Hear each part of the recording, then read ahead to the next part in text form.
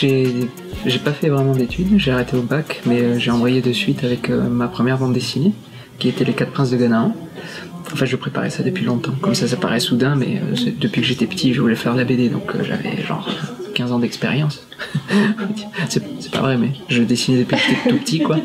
J'ai pas lâché. Du coup, j'ai fait une première série chez Delcourt, qui s'appelait Les Quatre Princes de Ganaan, quatre albums. Ensuite, euh, là, j'étais dessinateur. Ensuite, j'ai fait une série qui s'appelle euh, Anna Hattori, où là, j'étais auteur complet. Je fais les dessins, même la couleur, l'histoire aussi. J'ai commencé une série qui s'appelle Speed Angels, qui est encore en cours, où là je ne fais que les dessins, et en même temps je fais Radiant euh, en tant qu'auteur complet. Voilà. Ce qui m'a amené à faire du manga par contre, c'était mes premières influences quand j'étais petit, c'était Dragon Ball, Ranma demi, tout ça. Et euh, petit à petit, quand j'ai commencé la bande dessinée, j'étais très influencé BD parce que j'aimais ça.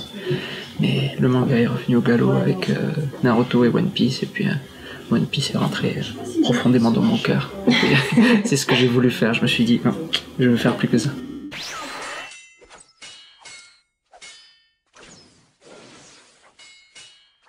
En fait, avec Ankama, quand on a commencé, on s'est dit, ils avaient fait ça avec City Hall, ils se sont dit, on fait un arc scénaristique de trois tomes. C'était pratique pour voir s'il y avait un retour positif ou pas.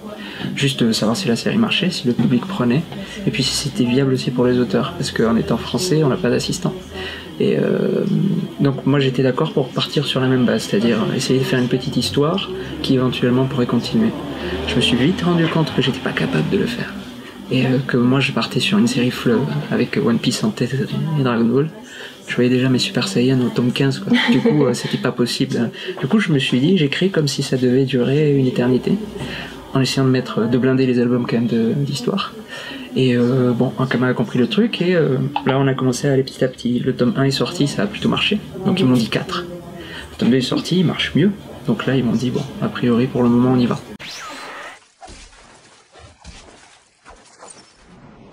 Le point final de, de l'histoire que j'ai commencé, je l'ai depuis avant de commencer la première page. Mais au fur et à mesure, je me laisse toute la liberté. Genre, euh, je vois un truc qui m'intéresse. En ce moment, j'ai regardé Kill la Kill en, en animé. Ça m'a, ça a complètement et je pense que je vais intégrer des trucs qui m'ont vraiment plu euh, dans, dans, les, dans les quelques prochains chapitres. Et à chaque fois que je, je vois un truc qui m'inspire, euh, j'essaie de, de le caler dans mon histoire. Voilà. Très spontanément. fonctionne. J'essaie de, de laisser une part de spontanéité, ouais. Notamment dans le tome 2, j'aborde j'aborde la question du frère de Seth. On dit, est-ce qu'il a un frère, est-ce qu'il a pas de frère, il y a quelqu'un qui serait comme lui, peut-être, tout ça. Ça, c'est un des trucs importants qui va vraiment ponctuer le récit pendant quelques albums. Et euh, bah, j'avais ça depuis le début en tête, et euh, c'est partie des trucs où je sais que c'est un passage obligatoire pour mener à la fin. Ouais, Il y a un sujet qui est encore plus poussé dans le tome 2 d'ailleurs. Ouais, dans le tome ressent 2, encore avec, plus, euh, avec vraiment le racisme évident. euh. Ouais. Euh. D'ailleurs, alors je, je clarifie parce que j'ai reçu des messages de gens qui ont pensé que moi j'étais raciste. Ah. Donc je tiens à clarifier. Attention, c'est tout le contraire que je que, j'essaie de défendre. Mon héros, il prend part aux côtés d'une famille d'immigrés euh, à une aventure parce qu'ils sont là dans un ghetto, un peu laissés de côté, tout ça. Et c'était un peu mon expérience euh, de la cité que j'ai vécue en étant enfant. Euh, moi, on voit pas, je suis pas vraiment étranger tout ça, mais tous mes amis, à leur contact, je voyais plein de trucs qui se passaient. Et je raconte un peu ça dans le tome 2 de la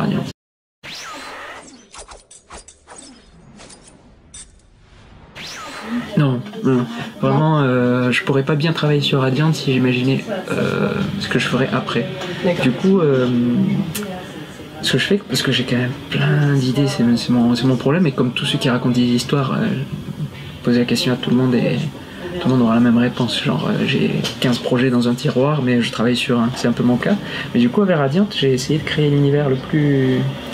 qui me permette le plus de liberté possible. Et euh, tout ce qui me donne des idées pour un projet, j'essaie de le ramener à Radiant. Et même des personnages qui m'intéressaient pour autre chose, je les ramène à Radiant.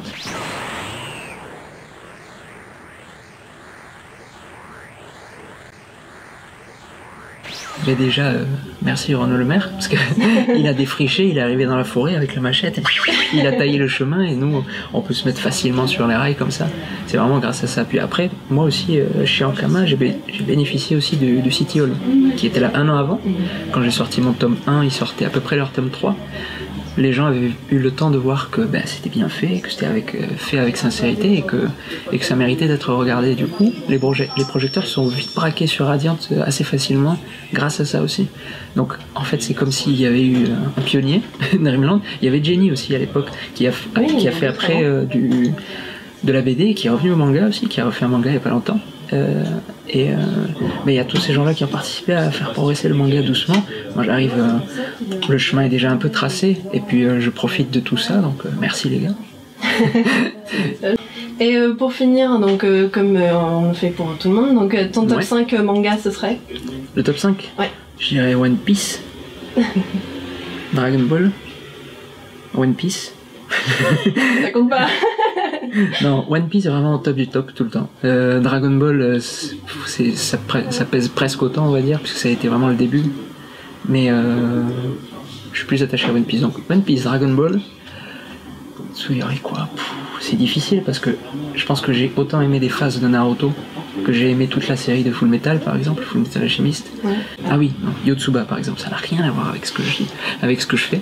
Mais Yotsuba fait partie de mes trucs préférés, ouais. Bien, bien dans le top. On va dire que c'est peut-être le troisième.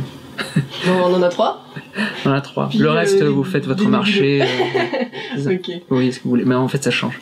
Ça change euh, selon les, moments. Ouais. Ok. Bah, merci beaucoup euh, pour Avec cette plaisir. interview et euh, d'avoir été aussi, aussi réceptif et souriant et, Ouais. et agréable à côtoyer. Merci. Merci.